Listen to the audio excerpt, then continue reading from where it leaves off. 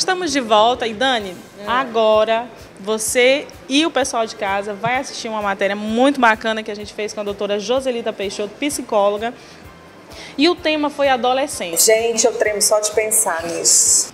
É verdade. Minha filha já tem 11 anos, é uma Pré-adolescente já né? está aí se modernizando, se atualizando para a tão temida fase de adolescência que muitas vezes os pais sofrem bastante, os, fi- os filhos sofrem bastante.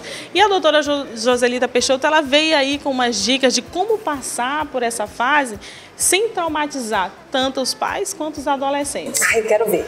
Então, vamos acompanhar e você vai ficar sabendo de como você deve passar por essa fase com seu pequeno. E detalhe, Dani, lembrando que às vezes, ela deixou bem claro que às vezes tem que buscar assim ajuda médica. Com certeza, tem que ajuda, ajuda especializada, né, para passar por essa fase central. Isso, vamos ver?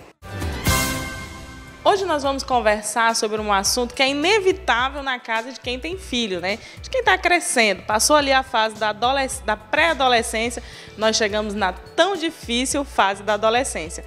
E quem vai nos ajudar a nos esclarecer um pouquinho sobre essa fase é a psicóloga a doutora Joselisa Peixoto. Tudo bom, Joselita? Tudo bem. Pergunta-chave para a gente começar. Como lidar com essa fase no mundo contemporâneo? Bem, hoje nós estamos numa fase complicada, né, dos adolescentes de maneira geral, no- tanto no sentido escolar como no sentido de educação dentro de casa. tá? Então são vários os fatores que ocasionam isso.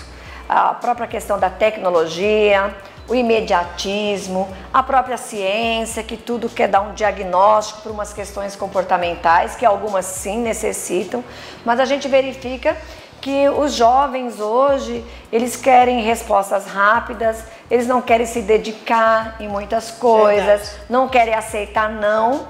Então, muitas vezes, os pais, os professores, educadores de maneira geral, sintam, às vezes, de mão atadas em como lidar com essa situação. Aí vai para cada perfil familiar, né? Cada família tem pré-determinado orientações que são necessárias para essa fase. Mas como nós somos seres únicos, cada adolescente reage diante de regras, normas, limites que hoje estão querendo ser abolidas em todo o contexto, mas que ainda são necessárias. É, como eu, como o pessoal de casa que está assistindo o nosso bate-papo, como detectar que o meu filho precisa de um acompanhamento profissional? Quando, quando eu consigo verificar, passou uma linha tênua, essa linha foi ultrapassada e eu preciso de ajuda, tanto para mim quanto pai, quanto para o meu filho. Olha, primeiro você precisa conhecer, pelo menos as noções básicas do que acontece em cada fase do desenvolvimento. Então, se a adolescência existem certos comportamentos que são é, aceitos por ser adolescentes. Mas você precisa acompanhar o teu filho, acompanhar o teu filho na escola, acompanhar o teu filho com as amizades. Acompanhar o teu filho não é seguir, não é deixar ele não sair, não é isso. Mas estar atento às questões comportamentais. Ele era uma criança calma, agora está irritado, não tem paciência com nada. Claro que nós também, em alguns momentos, nós temos os nossos momentos de irritabilidade. Mas isso tem uma linha de equilíbrio. Quando foge desse equilíbrio, quando foge do controle, nós precisamos estar atentos, verificar o que é que está acontecendo. Será que o problema está conosco, pais? Será que o problema está na escola? Será que o problema está nos relacionamentos, do contexto geral de amizade e o mundo que a gente está vivendo? Será que é os filmes que eles estão assistindo? Tudo isso são questões que influenciam as questões comportamentais. Eu, eu lembro agora, para a gente finalizar, que realmente conversar com a Joselita é muito bom. Então, de repente, se você está passando por essa fase, é, há um tempo atrás nós batemos um papo, falamos sobre depressão, é, e a Joselita, ela tem, tem toda essa, esse, tem toda essa bagagem para te ajudar a passar por, por algumas fases. Então, o telefone dela está sempre aí no vídeo, tá? Então, precisando aí desse, desse, desse bate-papo, liga, agenda um horário. E eu lembrei agora, para a gente fechar, que uma, eu lembrei de uma fase quando criança que meu pai chegou e perguntou para os quatro filhos o que, que cada um queria ser quando crescer. E eu lembro que a mais velha disse que queria ser aeromoça, né? Então, naquela época, aeromoça era uma excelente profissão, se ganhava muito bem, viajava o mundo. E eu disse que eu queria ser bailarina. E ele achou lindo, né? Porque era muito bebezinha. E ele perguntou do terceiro e ele disse que queria ser palhaço de circo. E o meu pai ficou extremamente irritado, assim, brigou, falou um monte de coisa. E, e era uma criança dando uma resposta totalmente inocente e então, dali a gente já percebe essa cobrança. Era uma criança de aproximadamente 4, 5 anos.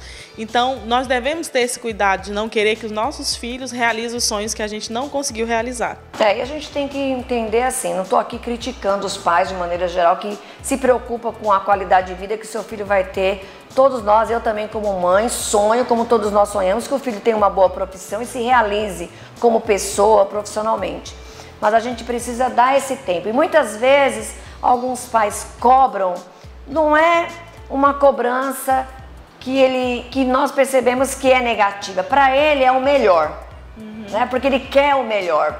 Então a gente precisa entender por que, que o diálogo é importante. Até para que se o filho perceber que aquilo que o pai quer para ele não é o que ele quer, através do diálogo os dois possam chegar a uma conclusão. Porque senão acaba tendo briga. O pai briga porque quer que o filho seja um profissional de tal área e o filho briga porque ele não quer, ele quer outra. E acaba criando um atrito sem necessidade. Verdade. Hoje, se a gente pudesse realmente, enquanto puder, tenha paz com todos, seria muito bom. Né? Usar de empatia, de procurar se preocupar com o outro, que o outro seja feliz Respeito. e que você seja feliz também, respeitando as diferenças. Que é isso que a gente deseja para cada pai e para cada filho também. Filho, respeite seus pais. Pai, respeite seus filhos. E assim a gente vai ter um mundo melhor. Verdade. Joselita, muito obrigada. obrigada Como sempre, nos ajuda. Então, aquilo eu volto a repetir. Se você está precisando bater um papo com a psicóloga, que consegue te ajudar a passar por alguma fase da, da tua vida que não está fácil, que precisa aí de, um, de uma ajuda, realmente de um apoio. Então, telefone no vídeo, dá uma ligadinha, agenda seu horário, que com certeza com a ajuda é muito mais fácil. Isso, vai ser um prazer recebê-los. Muito obrigada. Obrigada.